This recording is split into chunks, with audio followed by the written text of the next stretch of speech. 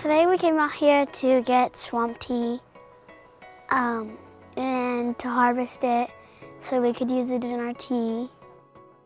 Swamp tea is a leaf that comes from an evergreen shrub that is used as a traditional medicine and beverage by the native people of the area.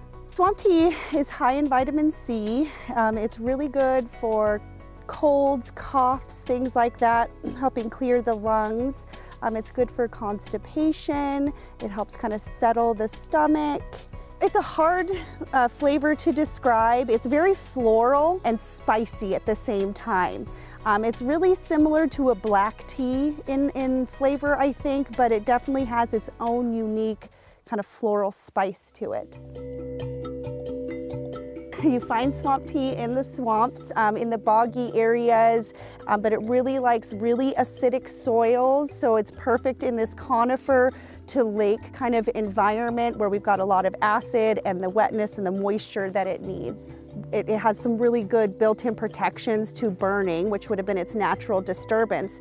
And once it is disturbed in, in that way or in our harvesting, it, it kind of induces it to grow in more. And so if you're to leave an area without harvesting it, it's actually gonna have slower growth because it's not really having to respond to that um, that disturbance. You're supposed to harvest the ones that look like this um, because the white ones that are fluffy are just grown this year and you gotta wait from the ne till next year to harvest those ones. These ones you can harvest now because they have already been, like they're already ready. The hardest part about swamp tea, I would say, is that when you're getting it like this, you have the little new growns at the top. So it's hard not to accidentally pop the heads off and then they won't grow again. But they pop if you go like you go like this. So sometimes the head pops off when you're trying to get what you need and the head pops off. And that's hard because then it won't grow.